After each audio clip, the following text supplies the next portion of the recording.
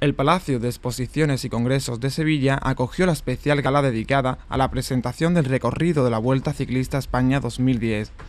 El 75 aniversario de esta competición arranca con una novedosa etapa para conmemorar una efeméride tan importante, como señala el consejero de Turismo, Comercio y Deporte, Luciano Alonso. Citas espectaculares que han llenado la historia del deporte de lugares míticos que albergaron los días más señalados para los campeones de gestas deportivas que quedan grabadas en la mente de todos sus seguidores como inseparables del lugar donde se han llevado a cabo.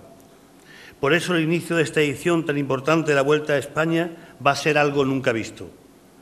Una contrarreloj por equipos nocturna por las calles de Sevilla. Una carrera única en un marco espectacular para los mejores equipos del mundo y el mejor arranque posible para la vuelta. Una primera etapa inaugural que supondrá una gran oportunidad para Sevilla, como asegura el alcalde hispalense Alfredo Sánchez Monteserín.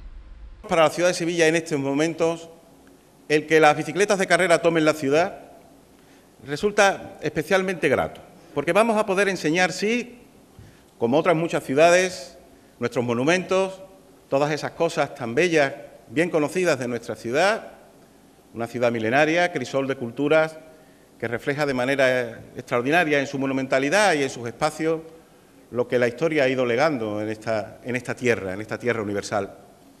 Pero también porque nos va a dar la oportunidad, esta vuelta, esta edición especial por conmemorativa de la Vuelta Ciclista a España, demostrar unos aspectos de Sevilla que quizá no son suficientemente conocidos. La Vuelta Ciclista a España celebrará su edición más especial con un estreno envidiable.